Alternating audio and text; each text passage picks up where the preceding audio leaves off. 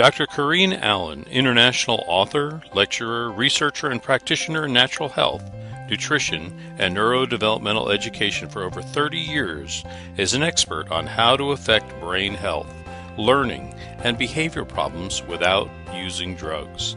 She's a recognized healthcare leader for her natural and practical approach to health regarding natural and alternative methods of stimulating permanent changes in the brain for issues like ADD, autism, Asperger's, dyslexia, learning disabilities, academic and behavioral issues, and acute and chronic brain injuries.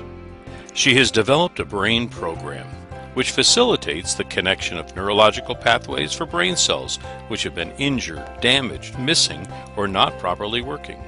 Dr. Allen's brain research is applied in the Advanced Learning and Development Institute's brain programs. Through the Advanced Learning and Development Brain Camps, Dr. Allen's method of repairing the brain has helped many families find help, solutions, and hope for their brain problems. Now let's join Dr. Corrine Allen as she speaks on Your Brain on Water. And I appreciate all your interest in the brain. How many of you have personal friends or family who have brain issues on any spectrum? We're not talking about autism, good. We, we see it everywhere. We now have 1 in 75 on the autism spectrum. Uh, research shows that 7 out of 10 people are actually have some kind of injury in the brain from birth. And we see statistics that now say 1 in 10 have brain injury on some level. And I think if anybody is a teacher or a worker in the public school system, you understand and know that we have a very serious problem. And it becomes very, very serious when that problem comes into your own family and into your own home, right? And it's what do we do about it? And what can we do about it within our financial means? Because these things can break the budget. So, we're going to give you some exciting things tonight about how you can share this with others and use it more effectively for yourselves.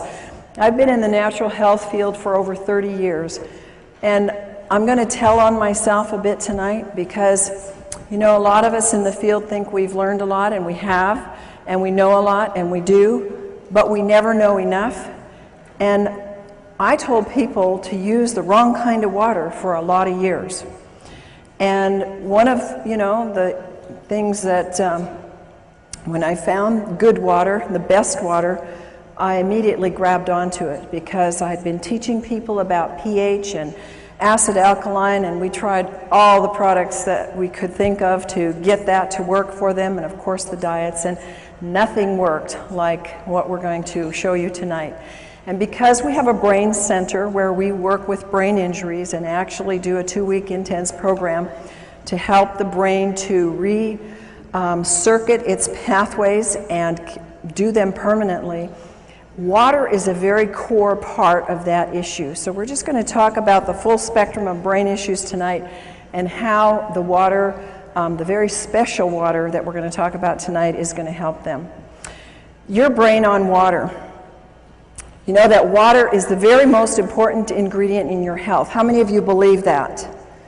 Now, I believed that 30 years ago, but I didn't practice it. And I didn't have a way to give people the best avenue to get that water into them. It's the one big secret that is being missed. Water is essential to superior health and wellness. And we're particularly concentrating on the brain because that is the part today that is exponentially out of control.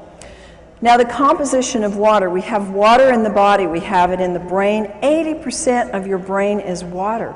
How come nobody talks about water in your brain? How come nobody says, take this for your problem?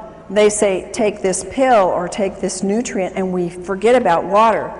Our purpose tonight is to show you how the first and the foremost thing that we want to do is we want to do water, but the right kind of water, because, folks, we're going to show you that if you do the wrong kind of water, you're really wasting your effort. Now, the body is 75% water, and in that you have your. Um, Bones, they need water.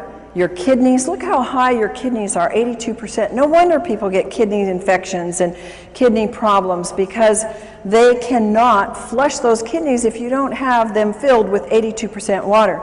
And your muscles need 75. How many of you get muscle aches and pains? And um, there's not enough water flushing the toxins out. And then the blood, look at that 90%. Is it any wonder? why people that drink coffee and sodas and very little water get hardening of the arteries, and we have such a high amount of people in our population today that are on cholesterol medications, and heart disease is the number one killer. It's because 90% of the blood is water. Your brain on water. Your brain is the missing link in the health of your brain. It's the essence of life. It has the electromagnetic current that fuels our cells. It's a resonance field. It's all electrical through which the cells communicate. So if you want transfer of DNA, you've got to have the proper water. It's the conduit and the transmission of the vibrational information. The water transports, it stabilizes, it signals, it lubricates, and it structures. It does almost everything. And without it, you can't have brain neurotransmissions that are working properly.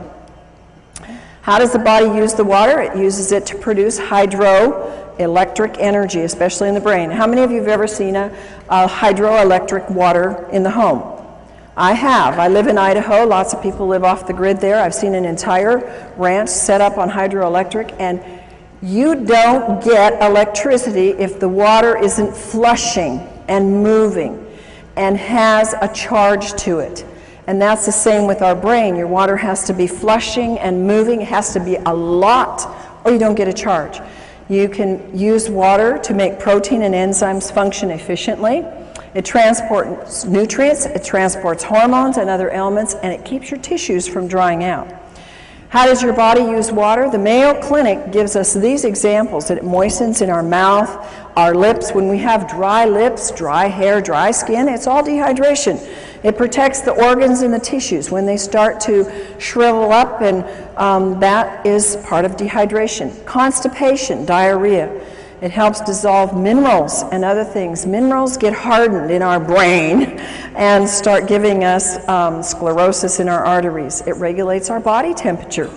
It helps lubricate the joints. You've heard people say how they can now do things that they couldn't do before because their joints start being lubricated. It lessens the burdens on the kidney and it carries oxygen to the cells. Other functions of water is that it slows down the cell death. And because we don't see the cell death, we often don't think that we're dying. We're all dying. But we can slow that process down. It lubricates and it cushions. The water flushes out the toxins and poisons and it helps produce digestive en enzymes. And a lot of us have seen how water, and particularly special ionized microclustered water, can move away the aches and the pains in the body. The brain absolutely desperately needs water to function at its best.